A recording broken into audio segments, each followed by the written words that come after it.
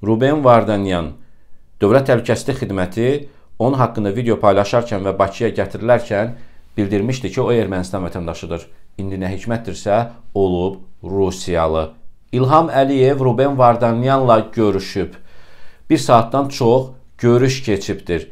Prezidentin mühafizə xidmətindən azad sözə sızdırılan məlumatları və eləcə də Ruben Vardanyanın azadlığa buraxılma artıq kampaniyası, onun haqqında mələk obrazı yaradılması başlayıbdı. Hətta Azərbaycan televiziyalarında. Diqqətlə bu videonu xahiş edirəm sona qədər dinləyin və Bəyənin, paylaşın ki, daha çox insan izləsin. Əli Azərbaycan əskərlərinin qanuna batmış insanlar, terrorçular, onları maliyyələşdirənlər Azərbaycan həbsxanalarından çıxmalı deyil. Hələ gəlin o sualı edək ki, Ruben Vardanyan Azərbaycanda həbsxanadadır, yoxsa qapalı bir evdə villada saxlanılır. Azad Söz kanalına abunə deyilsinizsə, abunə olun ki, sizdən gizlədilən bu kimi gerçəklərdən vaxtında xəbərdar olasınız. Dəyərli həmvətənlərim, təxminən prezident seçkiləri elan olunandan 1-2 gün sonra, 10 gün əvvəl mənə prezidentin mühafizə xidmətindən məlumat sızdırılmışdı ki, İlham Əliyev Qarabağdan Bakıya gətirilən o terrorçulardan kimlə isə görüşübdür. Əslində sadəcə mən bu məlumatı aldım və dəqiqliyini araşdıra bilmədim və efirə də, izləyicilərə də bu məlumatı verə bilmədim. Çünki dəqiqləşdirilməmiş məlumatlar azad sözdə yayımlanmır.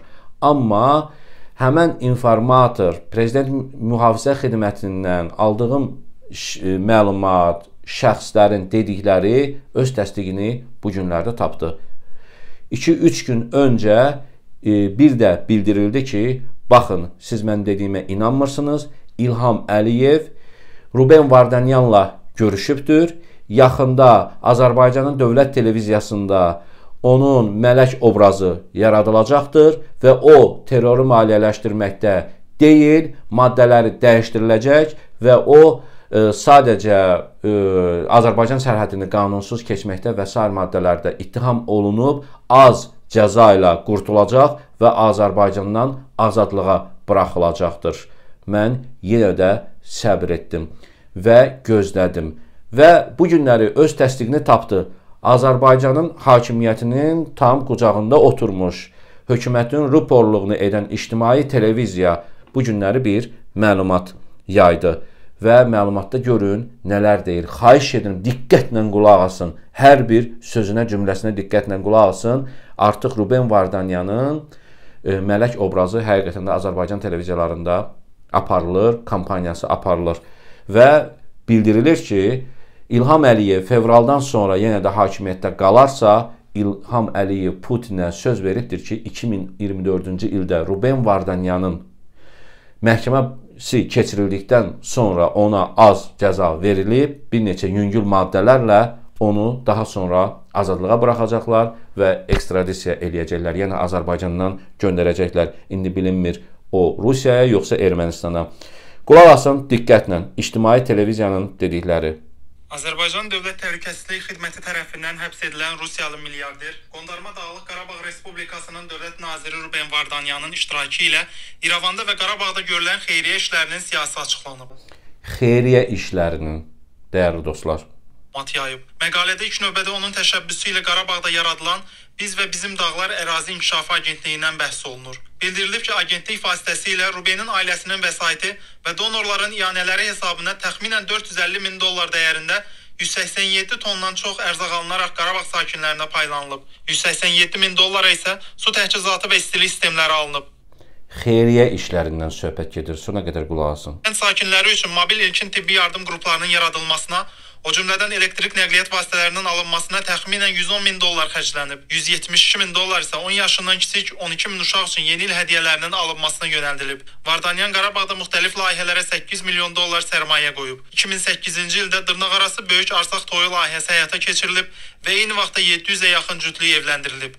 Xatırladaq ki, Qondarma Dağlıq Qarabağ Respublikasının dövlət naziri Ruben Vardanyan sentyabrın 27-sində Azərbaycandan Ermənistan istiqamətinə hərəkət edərkən saxlanılıb. O Azərbaycan Dövlət Təhlükəsizliyi Xidməti tərəfindən həbs edilib. Ona qarşı Cinayət Məcəlləsinin 214.1 terrorçuluğu maliyyələşdirmə, 279.3 qanunvericilikdə nəzərdə tutulmayan silahlı birləşmələrin və ya qrupların yaradılmasına və fəaliyyətində iştirak etmə və 318.1-ci Azərbaycan Respublikasının dövlət sərhədini qanunsuz olaraq keçmə maddələri ilə ittiham irəli sürülüb, barəsində həbs qəti imkan tədbiri seçilib. Dinlədinizmi? Diqqətlə qulaq asdınızmı? Ruben Vardanyan barəsində mələk obrazı yaradırlar. Azərbaycan xalqını hazırlayırlar. Seçkidən bir neçə ay sonra məhkəməsi keçirildikdən sonra məhkəmədə də ona terroru maliyyələşdirmə maddəsi və eyni zamanda silahlı birləşmələri yaratma, qruplaşdırma maddələrini çıxarırlar və sonuncu özlərinin də qeyd etdiyi kimi sadəcə sərhəddi qanunsuz keçmə 1-2 il cəza gözləyir onu da. Bu şəkildə terroru maliyyələşdirənlər və qondarma rejimdə Azərbaycan əskərinin qanına əli batmış şəxsləri İlham Əliyev belə azad etməyi planlaşdırır. Bəs niyə Ruben Vardanyan? Ruben Vardanyan milyarderdir. Hələ bu rəsmi bildirilir ki, 1 milyard yarımdan çox onun pulu var və qeyri-rəsmi ümumiyyətlə Rusiyada bizneslə məşğul olmuş milyarderlərin qeyri-rəsmi sərvətləri 2-3 daha çox olur.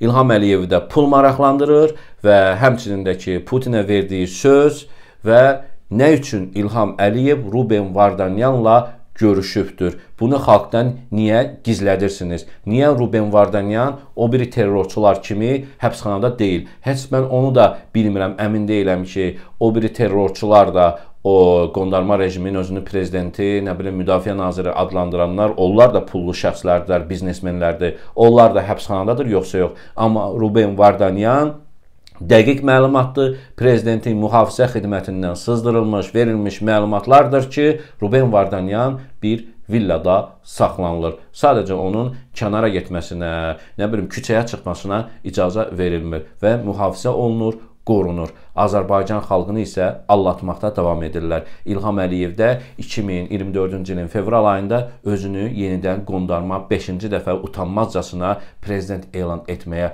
hazırlaşır. Xalq isə bunu istəmir. Dəyərli həmvətənlərim, xain, xəyanətkar prezidentdən, dövlət başçısından, məmurlardan qurtulmaq üçün fevral ayına inqilaba hazırlaşın. Mütləq bizə belə saxta prezident lazım deyil. Videolarımızı vaxtında izləmək istəyirsinizsə, YouTube kanalımıza abunə olun.